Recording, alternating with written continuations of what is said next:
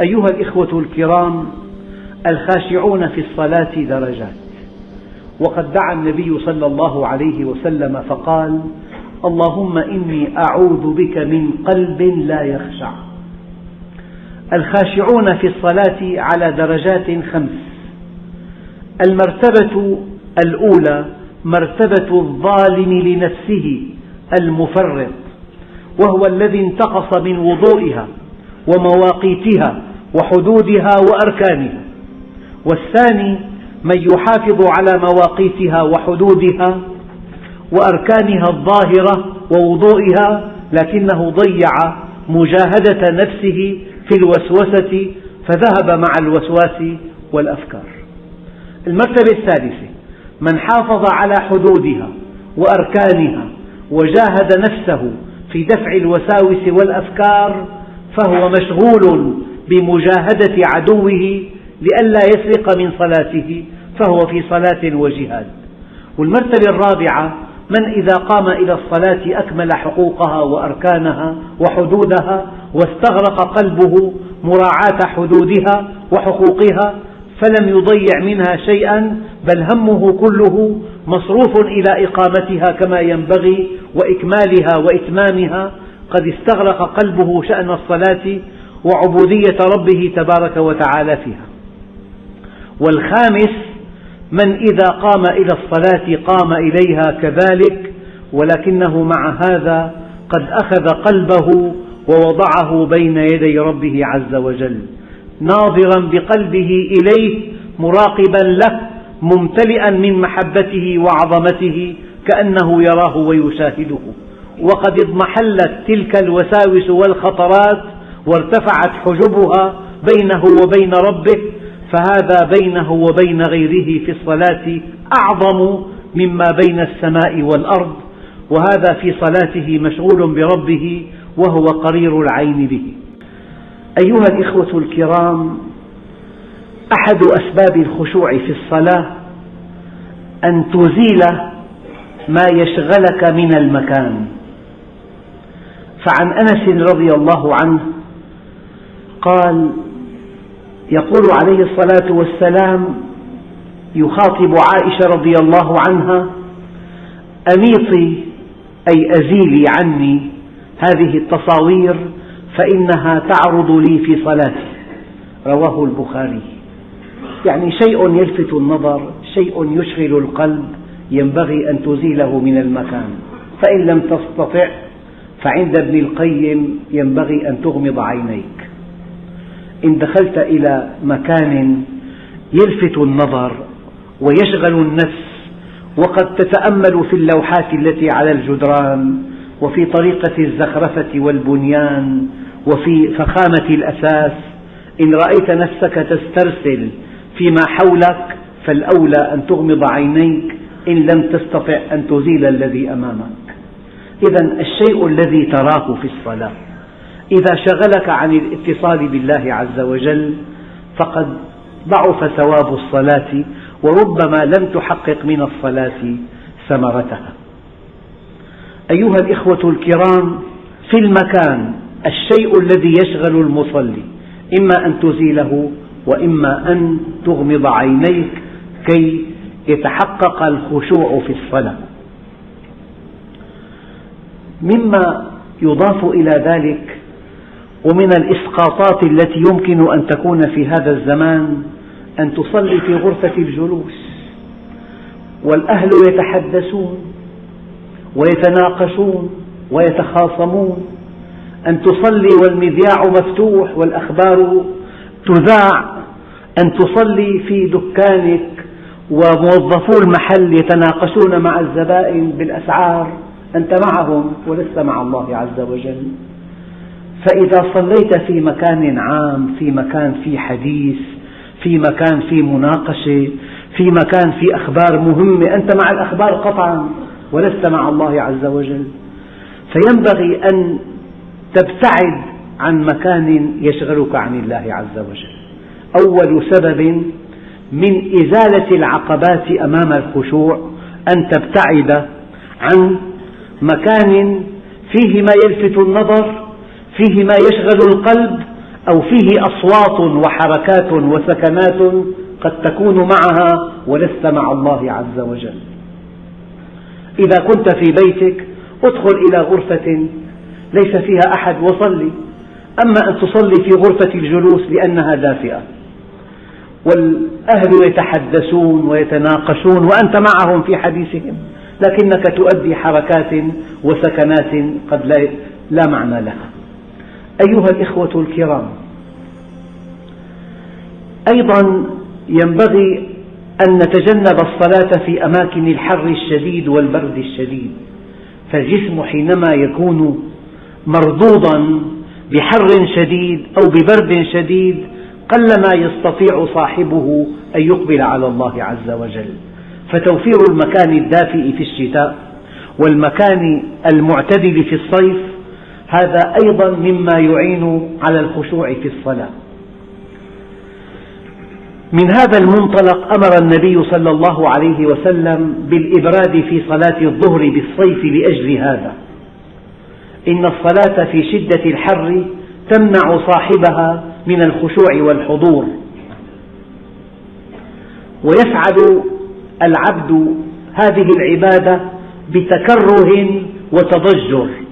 فمن حكمة الشارع أنه أمرهم بتأخيرها حتى ينكسر الحر فيصلي العبد بقلب حاضر ويحصل مقصود الصلاة من الخشوع والإقبال على الله تعالى.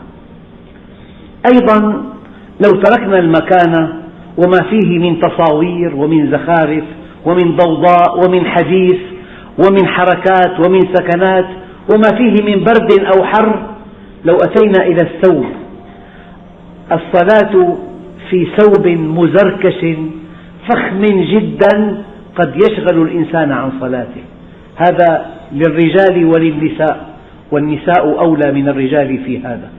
يعني المبالغة في العناية بالثياب وأنت تصلي قد لا تتم الركوع والسجود حفاظا على سلامة الثوب فينبغي أن تصلي وأنت مرتاح. مما ورد في هذا أن النبي صلى الله عليه وسلم قال اذهبوا بهذه الخميصة فإنها شغلتني. اذهبوا بهذه الخميصة فإنها شغلتني وهو بهذا يعلمنا ألا تنشغل لا بالمكان ولا بالثوب. عن الاتصال بالله عز وجل.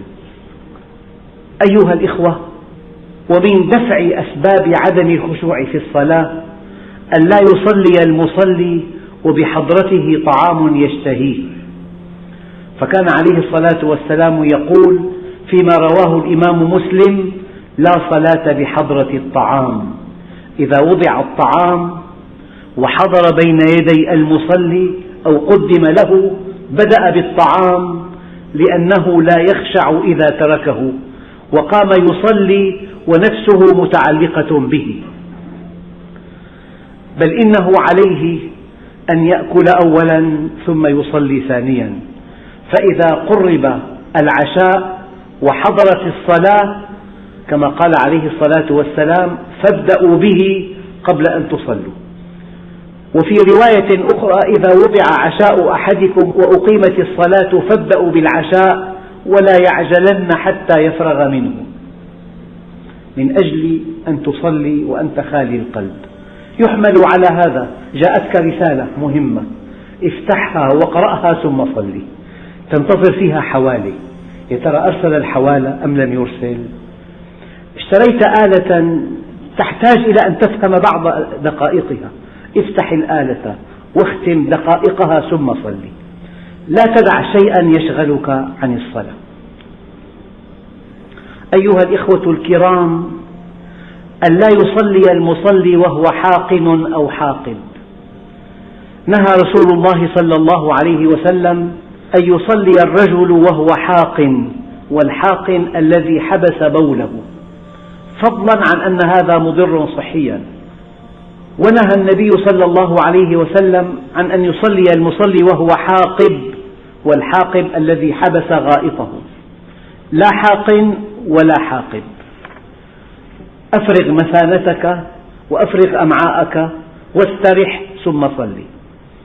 هناك من يريد أن يصلي من دون أن يتوضأ وضوء جديدا فيصلي وهو حاقن ويصلي وهو حاقب وفي هذا نهي شديد لأنك مشغول بإفراغ المثانة والمستقيم عن الصلاة. قال بعض العلماء من حصل له ذلك فعليه أن يذهب إلى الخلاء لقضاء حاجته ولو فاته ما فاته من صلاة الجماعة. فإن النبي صلى الله عليه وسلم فيما ورد في صحيح الجامع أنه قال إذا أراد أحدكم أن يذهب إلى الخلاء وقامت الصلاة فليبدأ بالخلاء. بل إنه إذا حصل له ذلك شعر بحاجة إلى الخلاء. أثناء الصلاة فإنه يقطع صلاته لقضاء حاجته ثم يتطهر ويصلي لأن النبي صلى الله عليه وسلم يقول في صحيح مسلم لا صلاة بحضرة طعام ولا هو يدافعه الأخبثان البول والغائط. أيضا من أسباب دفع موانع الخشوع في الصلاة أن لا يصلي المصلي وقد غلبه النعاس. فعن أنس بن مالك رضي الله عنه قال قال رسول الله صلى الله عليه وسلم إذا نعس أحدكم في الصلاة فلينم حتى يعلم ما يقول. أي فليرقد حتى يذهب عنه النوم. رواه البخاري. وفي حديث آخر عن عائشة رضي الله عنها أن النبي صلى الله عليه وسلم قال إذا نعس أحدكم وهو يصلي فليرقد حتى يذهب عنه النوم فإن أحدكم إذا صلى وهو ناعس لا يدري لعله يستغفر فيسب نفسه. رواه البخاري. أيها الإخوة الكرام ومن أسباب الخشوع في الصلاة أن لا يصلي خلف متحدث. فقد قال عليه الصلاة والسلام لا تصلوا خلف النائم ولا المتحدث وهو في صحيح الجامع. لأن المتحدث يلهي بحديثه والنائم قد يبدو منه ما يلهي. لكن موضوع النائم في عليه قول. لو أن النائم نوما طبيعيا وهو متستر تستر كامل لا شك لأن النبي صلى الله عليه وسلم كان يصلي قيام الليل والسيدة عائشة نائمة. أما إذا كان هذا النائم ليس منضبطا في نومه وقد تنكشف عورته في أثناء النوم وقد وقد فالأولى ألا تصلي وهو أمامك لئلا تنشغل به وبحركاته وبحديثه أثناء نومه. أما المتحدث فإنك تنشغل بحديثه عن الاتصال بالله عز وجل. أيها الإخوة الكرام أعيد عليكم مرارا أنني أعظ نفسي وأعظكم في وقت واحد وأنني أيضا معني بالخطاب لأن الله سبحانه وتعالى يحب منا جميعا ألا نستمر على خطأ. يعني ليس العار أن تخطئ ولكن العار أن تبقى مخطئا. وليس العار أن تجهل ولكن العار أن تبقى جاهلا. كره بعض العلماء الصلاة إلى النائم خشية أن يبدو منه ما يلهي المصلي عن صلاته. جاء هذا في فتح الباري. قال فإذا أمن ذلك فلا تكره الصلاة خلف النائم لأن النبي صلى الله عليه وسلم كان يصلي فيما تروي السيدة عائشة وأنا راقدة معترضة على فراشه. هذا ورد في صحيح البخاري. ومن أسباب الخشوع في الصلاة عدم الانشغال بشيء فيها كتسوية الحصى. فالنبي صلى الله عليه وسلم قال لرجل يسوي التراب حيث يسجد قال إن كنت فاعلا فواحدة الحركات الكثيرة في الصلاة أن تسوي الحصى أن تسوي مكان السجود أن تصلح من ثوبك أن تنفض شيئا عنه أن تمسح جبينك. كثرة الحركات في الصلاة تبعد الإنسان عن الخشوع فيها. لو خشع قلب هذا لخشعت جوارحه. وقال عليه الصلاة والسلام لا تمسح وأنت تصلي. فإن كنت لا بد فاعلا فواحدة وقال عليه الصلاة والسلام أيضا فيما رواه الإمام البخاري إن في الصلاة لشغلة المصلي مشغول باتصاله بالله عز وجل فإن كان يؤدي حركات وسكنات لا معنى لها عنده وإن كان يقرأ قراءات لا يفهمها أو لا يعنى بمعانيها تصبح الصلاة عبئا إذا لا بد من أن يتشاغل بشيء آخر. ومن أسباب الخشوع بالصلاة عدم التشويش بالقراءة على الآخرين.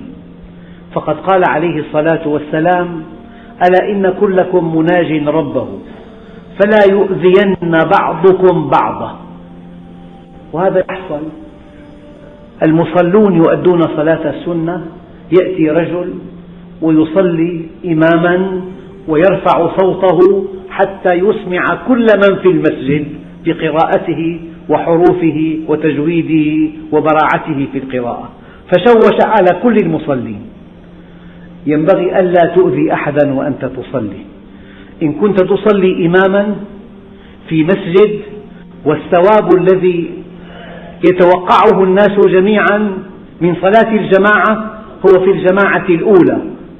أما أن تقام عشرات الجماعات في المسجد كل ما صلى إنسان وراءه أربع خمس أشخاص صلوا صلاة جهرية وشوشوا على الحاضرين وعلى دروس العلم وعلى من يصلي سنة وعلى من يقرأ قرآنا فهذا فيه أذى للمسلمين.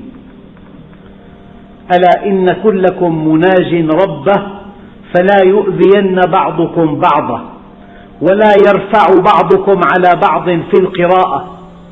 ورد هذا في صحيح الجامع. ولا يجهر بعضكم على بعض بالقرآن. لو لم يصلي أحد في المسجد وبعد صلاة الفجر جلس بعض المصلين لتلاوة القرآن.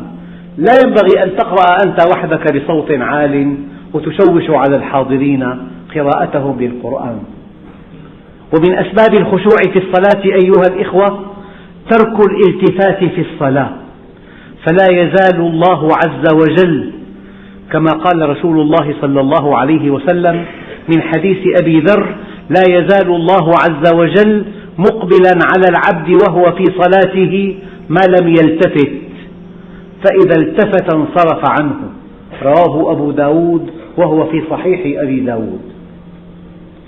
أيها الإخوة الكرام الالتفات في الصلاة قسمان. التفات القلب إلى غير الله والتفات البصر. وكلاهما منهي عنه وينقص من أجر الصلاة. وقد سئل عليه الصلاة والسلام عن الالتفات في الصلاة فقال اختلاس يختلسه الشيطان من صلاة العبد. أيها الإخوة الالتفات في الصلاة منهي عنه برأسك منهي عنه بقلبك وكلاهما منهي عنه. يقول بعض العلماء إن الرجلين ليكونان في الصلاة الواحدة وإنما بينهما في الفضل كما بين السماء والأرض. وذلك أن أحدهما مقبل بقلبه على الله عز وجل والآخر ساه وغافل. مصليان يصليان في مكان واحد وفي مسجد واحد بين صلاة الأول وصلاة الثاني كما بين السماء والأرض لأن الأول مقبل على الله عز وجل والثاني ملتفت إلى سوى الله عز وجل. لكن أيها الإخوة هناك التفات مشروع سنه لنا النبي. لو أن الإبن اقترب من المدفأة حتى كاد يحترق. ينبغي أن تلتفت. ينبغي أن ترفع صوتك. ينبغي للمرأة أن تصفق. ينبغي أن تقوم بحركة كي تنقذ هذا الطفل من الوقوع في نار المدفأة. هناك حالات ضرورية يقدرها الله عز وجل حينما ترى أن خطرا سيقع على أحد أولادك أو على والدتك أو على زوجتك وأنت في الصلاة ينبغي أن تلتفت. وينبغي أن تفعل إشارة ما كي تشير إلى هذا الخطر أو أن ترفع صوتك. أحيانا تصلي وحدك في الغرفة وفيها ابن صغير كاد يقع من النافذة.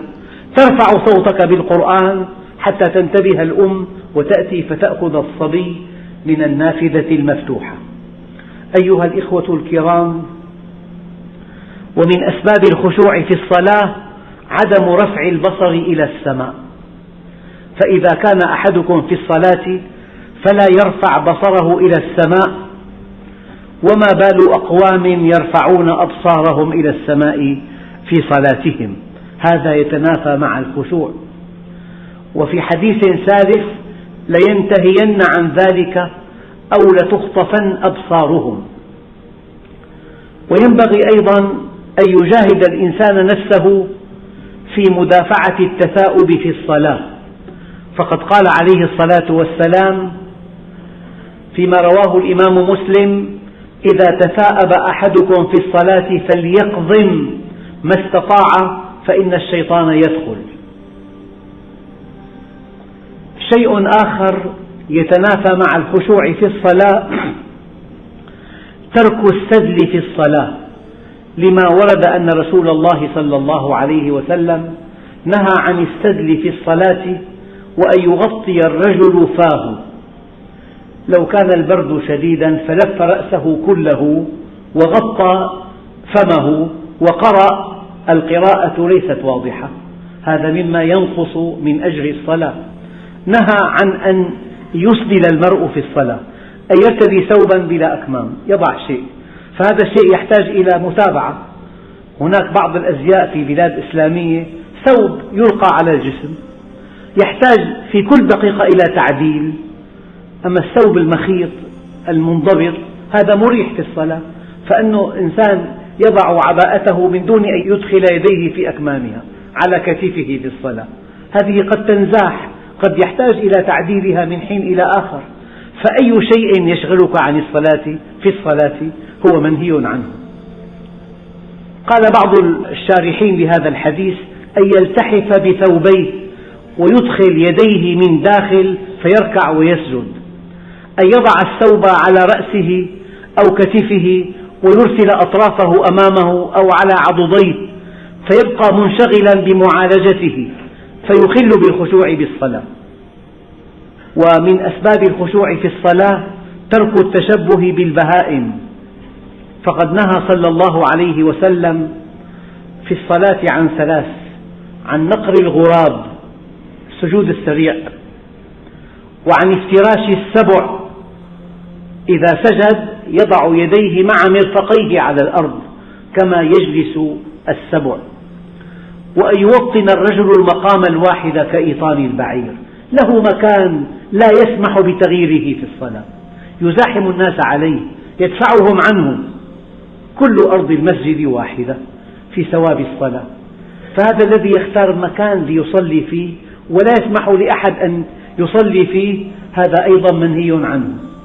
نهى رسول الله صلى الله عليه وسلم عن ثلاث في الصلاة عن نقر الغراب وافتراش السبع وأن يوطن الرجل المقام الواحد كإيطان البعير. وفي رواية ثانية يقول بعض أصحاب النبي نهاني رسول الله صلى الله عليه وسلم عن نقرة كنقرة الديك وإيقاع كإيقاع الكلب والتفات كالتفات الثعلب. أيها الإخوة الكرام حاسبوا أنفسكم قبل أن تحاسبوا وزنوا أعمالكم قبل أن توزن عليكم واعلموا أن ملك الموت قد تخطانا إلى غيرنا وسيتخطى غيرنا إلينا فلنتخذ حذرنا. الكيس من دان نفسه وعمل لما بعد الموت والعاجز من أتبع نفسه هواها وتمنى على الله الأماني والحمد لله رب العالمين. الحمد لله رب العالمين والصلاة والسلام على سيدنا محمد الصادق الوعد الأمين وعلى آله وصحبه أجمعين. أيها الإخوة الكرام إن من عظم مسألة الخشوع في الصلاة وعلو قدرها عند العلماء أنهم ناقشوا هذه القضية. في من كثرت الوساوس في صلاته هل تصح أم عليه الإعادة؟ قال بعض العلماء فإن قيل ما تقولون في صلاة من عدم خشوع هل يعتد بها أم لا يعتد؟ الاعتداد بها في الثواب لا يعتد بها في الثواب إلا بما عقل فيها منها لا يعتد لصلاة لا خشوع لها في الثواب إلا لما عقل فيها منها وخشع فيه قلب المصلي لربه فقط. قال ابن عباس ليس لك من صلاتك إلا ما عقلت منها. إن العبد ليصلي الصلاة ولم يكتب له إلا نصفها أو ثلثها أو ربعها حتى بلغ عشرها. إن غلب عليه عدم الخشوع فيها وعدم تعقلها فقد اختلف الفقهاء في وجوب إعادتها فأوجبها بعضهم ولم يوجبها بعضهم الآخر. اختلافهم في وجوب الإعادة على من غلب عليه الوسواس في صلاته أوجبها بعض العلماء ولم يوجبها بعض العلماء الآخرين. يقول عليه الصلاة والسلام إن الشيطان يأتي أحدكم في صلاته فيقول اذكر كذا. واذكر كذا لما لم يكن حتى يضل الرجل أن يدري كم صلى. وفي حديث آخر ذكرته قبل قليل إن العبد لينصرف من الصلاة ولم يكتب له إلا نصفها أو ثلثها أو ربعها حتى بلغ عشرها. وابن عباس حينما يقول ليس لك من صلاتك إلا ما عقلت منها. أيها الإخوة إذا غلب على صلاتك الخشوع فقد يكون في السنن ما يرممها. إذا غلب على صلاتك الخشوع فقد يكون في السنن ما يرممها. أما إذا غلب, غلب عدم الخشوع ومن عادتك أن تخشع في الصلاة ينبغي أن تعيدها. من عادتك أن تخشع في الصلاة. وفي صلاة واحدة غلب عدم الخشوع فالأولى أن تعيدها. أيها الإخوة الكرام الخاشعون في الصلاة درجات. وقد دعا النبي صلى الله عليه وسلم فقال اللهم إني أعوذ بك من قلب لا يخشع. الخاشعون في الصلاة على درجات خمس. المرتبة الأولى مرتبة الظالم لنفسه المفرط. وهو الذي انتقص من وضوئها ومواقيتها وحدودها وأركانها. والثاني من يحافظ على مواقيتها وحدودها وأركانها الظاهرة ووضوئها لكنه ضيع مجاهدة نفسه في الوسوسة فذهب مع الوسواس والأفكار. المرتبة الثالثة من حافظ على حدودها وأركانها وجاهد نفسه في دفع الوساوس والأفكار فهو مشغول بمجاهدة عدوه لئلا يسرق من صلاته فهو في صلاة وجهاد. والمرتبة الرابعة من إذا قام إلى الصلاة أكمل حقوقها وأركانها وحدودها واستغرق قلبه مراعاة حدودها وحقوقها فلم يضيع منها شيئا بل همه كله مصروف إلى إقامتها كما ينبغي وإكمالها وإتمامها. قد استغرق قلبه شأن الصلاة وعبودية ربه تبارك وتعالى فيها. والخامس من إذا قام إلى الصلاة قام إليها كذلك ولكنه مع هذا قد أخذ قلبه ووضعه بين يدي ربه عز وجل. ناظرا بقلبه إليه مراقبا له ممتلئا من محبته وعظمته كأنه يراه ويشاهده. وقد اضمحلت تلك الوساوس والخطرات وارتفعت حجبها بينه وبين ربه فهذا بينه وبين غيره في الصلاة أعظم مما بين السماء والأرض. وهذا في صلاته مشغول بربه وهو قرير العين به. القسم الأول الظالم لنفسه المفرط الذي انتقص من وضوئها ومواقيتها وحدودها وأركانها. معاقب. والقسم الثاني من حافظ على مواقيتها وحدودها وأركانها الظاهرة ووضوئها لكنه ضيع مجاهدة نفسه في الوسوسة فهو محاسب. والثالث مكفر عنه والرابع مثاب والخامس مقرب إلى ربه. آخر واحد قال لأن له نصيبا ممن جعلت قرة عينه في الصلاة. انطبق عليه جزء من قول النبي أرحنا بها يا بلال. أيها الإخوة الكرام هذا موضوع بالغ الأهمية. الصلاة عماد الدين. مرة ثانية. الصلاة نور. أنت بالصلاة تملك رؤية صحيحة. والصلاة طهور. أنت بالصلاة لا تحقد ولا تكذب ولا تغش. إن الصلاة كما قال الله عز وجل تنهى عن الفحشاء والمنكر نهيا ذاتيا. الصلاة نور. يا أيها الذين آمنوا اتقوا الله وآمنوا برسوله. يؤتكم كفلين من رحمته ويجعل لكم نورا تمشون به. ترى الحق حقا فتتبعه وترى الباطل باطلا فتجتنبه. يصعب أن يرتكب المصلي خطأ فاحشا لأن معه نور من الله عز وجل. والصلاة طهور كل أدران النفس كل مثالب النفس أنت بعيد عنها لأن الله طهرك منها لأن الصلاة كما قال الله عز وجل تنهى عن الفحشاء والمنكر. والصلاة حبور. أرحنا بها يا بلال. جعلت قرة عيني في الصلاة. الإنسان يستمتع بمخلوقات الله عز وجل لأن الله أودع فيها مسحة من جمال.